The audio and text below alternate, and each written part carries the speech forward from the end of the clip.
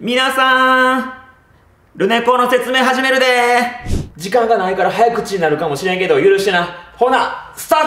ト!ルネサンストヨタ高等学校は愛知県豊田市に本校があるインターネット型の通信制高校なんや。ほんまにありがたいことに全校生徒で1400人おって愛知県やと1060人岐阜県やと92人静岡県やと79人三重県で52人おってで沖縄から北海道まで他にも海外までいろんなとこから生徒が来ています。つまり東海地区の人に選ばれてるっていうことなんやね。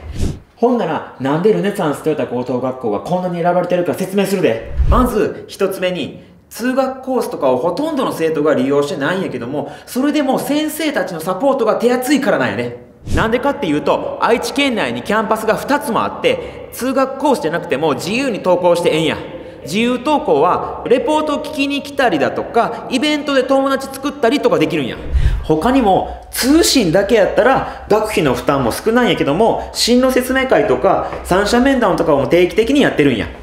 これだけ環境が充実してるからこそ選んでくれてるんちゃうんかな。2つ目に愛知県豊田市でスクーリングが受けられるっていうことなんや。ここ。あこっち。他の高校さんやと結構遠くに行かなあかんことがあるんやけどルネコやったらここトヨタで受けれるから大丈夫。安心して。しかも年に4日名古屋の人からしたらトヨタって遠いって思うかもしれへんけど名古屋集合もあるから安心してや。でもトヨタ手前で集団が苦手な人とか朝が苦手な人にも配慮した時間割りできるから言うてな。3つ目に普段の学習が全部インターネットでできるってことやね。普段の学習っていうのは動画を見ることとレポート提出なんやけども全部この中でできるんや。授業の動画の時間が決まってるわけやないから忙しい人や朝弱い人にもぴったりやで。本物が見たかったら見に来てや。4つ目に最初に言ってたことを矛盾するんやけど通いたい人向けのコースもあんねんトヨタ駅前キャンパスだと通学コースっていうのがあって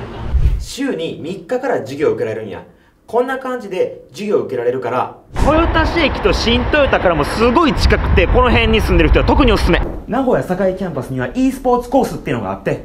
めっちゃすごいゲーム用のパソコンとか揃っててプロ選手の授業も受けたりできるんや。英語とか心理学とか e スポーツには重要らしいんやけどゲーム以外のこともやってるから将来に役立つことを考えながら学べるんや他にもダブルスクールコースっていうのがあって代々木アニメーションさんでイラストレーターや声優を目指したりトライ式高等学院で受験勉強したりしながら過ごせるんや。最後まで見てくれてほんまにありがとう。ルネサンストヨタ高等学校やで。覚えてくれた？もしわからんことあったらフリーダイヤルで電話するか資料請求してみて。みんなに会う学校が見つかることを願ってます。それじゃまたね